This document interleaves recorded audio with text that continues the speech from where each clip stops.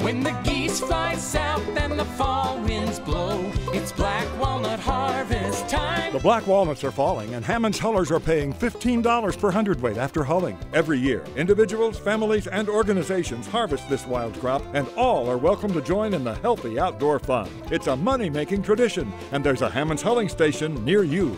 Remember Hammons Products Company. It's black walnut harvest time.